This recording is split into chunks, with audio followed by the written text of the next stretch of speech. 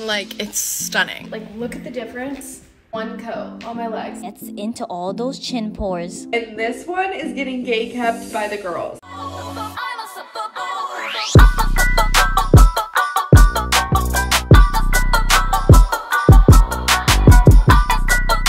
I've been trying all of the viral TikTok makeup, so I'm gonna tell you what's worth it and what's not. First up, Drunk Elephant Bronzing Drops. I do like these because it's not self tanner, so it's not permanent. It washes off.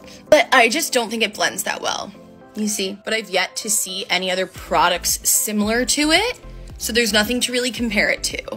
I do like it, but like, hello? Next up is Charlotte Tilbury Flawless Filter, and this worth every penny, worth all the hype. Ready? Look at the difference. Like, look at the way my face is glowing. Just got into using cream contour and I used the Fenty Beauty one in Mocha, but then I tried Rare Beauty and this one melts into your skin. Okay, ready? Watch how beautifully it blends.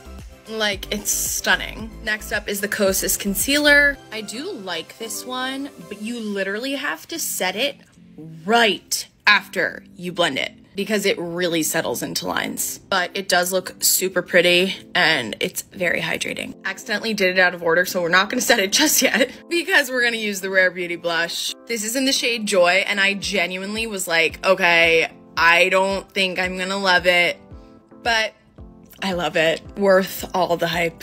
A product that I think should be viral that isn't is the Fenty Beauty bronzer in the shade Island Ting. It's the best. I use this for bronzing, contour, use it for my nose contour. It just snatches your entire face. Another product I think should be viral that isn't is the Buxom Primer Infused Blush in the shade Mykonos. It's just the best. Next up is the Anastasia Brow Freeze, and I got it because Jordan Sloan said she can't live without it, so I was like, I can't live without it. And she was right, it gives your brows the most stunning laminated look. Like what? Another product that should be viral that isn't is the Blinc Amplified Tubing Mascara. If you don't know what tubing mascara is, basically it just tubes around your lashes and then when you wash your face and wet it, it comes off like that.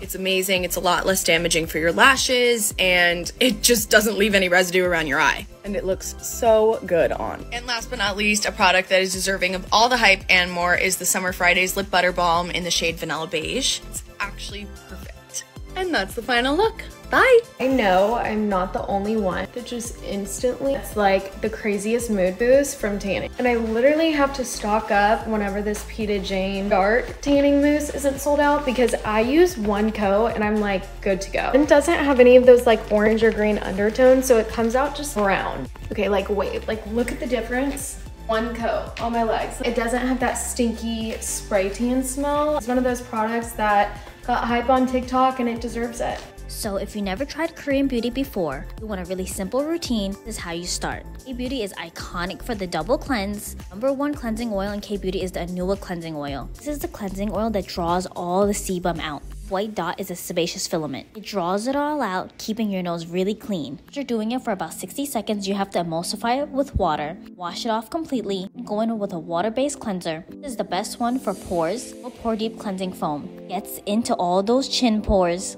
your pores from inside out. Uses heart leaf powder, creates really dense bubbles like the ones you see on my face right now. Dense bubbles are able to foam into your pores helps to gently clear all the impurities from your pores. This is the cleanser that always makes my skin feel really clean. You have to wash it away with water again and then completely dry your skin. Cleanser is perfect for those with sensitive skin. Main ingredient is heart leaf. Leaves your skin feeling really clean but not tight. Korean Beauty, my favorite way to exfoliate is using toner pads. Celimax BHA toner pads. Of the most popular toner pads in Korea. Two sides, it has a gauze side and a smooth side. Skin, you should always use the smooth side because you don't want to damage your barrier. This side might be too harsh for some skin types. This is the perfect exfoliation if you have textured skin. How I use the gauze side. So I use the gauze side behind my ears because behind the ears is the sebum zone. Use it to purify the back of my ears. Sometimes the gauze pad turns yellow. That's all sebum. Then I go in with a bean essence, vegan version of snail mucin. Same texture, same benefits. So textured skin, hydration, and helps you heal a damaged barrier. Since really transformed my skin because it helps with my skin's overall radiance and texture. Skin gets really clogged usually, but bean essence really helps that because it contains fermented pomegranate that's a natural AHA. And I use fermented Centella asiatica. Fermented Centella Asiatica helps control blemishes in your skin. If you have any redness, it's gonna calm it down. Also helps control the sebum production. Also helps dark spots and any hyperpigmentation. Your skin with a glossy glass skin finish. That's why I love using Fermented Centella Asiatica. To lock in all of that with a cream.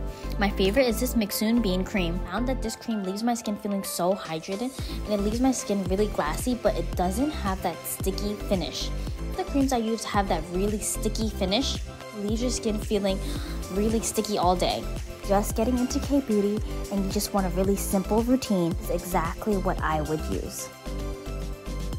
Welcome back to Things That I Think Should Be Viral, where the only two criteria are things I like that I haven't heard a lot of people talk about, and this one is getting gay kept by the girls. I know this because I posted a teaser of this episode on my Instagram story, and people DM'd me begging me not to post it. Sorry about it. The Juice Beauty Stem Cellular Vinifera Replenishing Oil. This is my empty, and this is my restock. I cannot go without this oil. It's literally like my equivalent of Windex in that Big Fat Greek Wedding movie series, how they would put Windex on everything. I put this this on everything. You can use this as a makeup primer. It's obviously skincare too. I'll seal in all of my nighttime skincare with this at the very end. I use it in the morning. It's not even like too oily for daytime. It smells really good. It has like a natural smell, like more like a essential oily smell. I was really hoping this would be included in the Ulta 21 Days of Beauty, but it wasn't. It is kind of expensive, but once you try it, like you will be obsessed and it will be worth every penny. Juice Beauty is sold at Ulta, so you can get it there. I think this one has like 4.7 stars, so I'm not alone in this. Just no one is talking about about it. If you've tried this, let me know what you think. And if you go out and get it, then you have to report back because I'm shocked this isn't like a more well-known oil.